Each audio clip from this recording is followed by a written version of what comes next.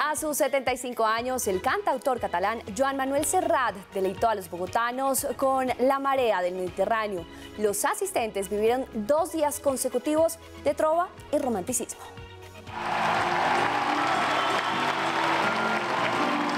Joan Manuel Serrat en Bogotá por dos días consecutivos deleitó a los colombianos en sus dos presentaciones en el Teatro Jorge Eliezer Gaitán.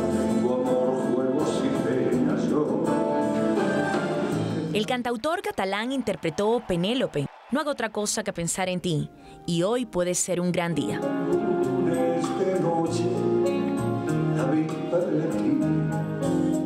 También canciones de su nuevo álbum, al cual llamó Mediterráneo da Capo, aludiendo a la marea que lo vio nacer. La audiencia le reclamaba algunas de sus canciones más sonadas, como aquellas pequeñas cosas.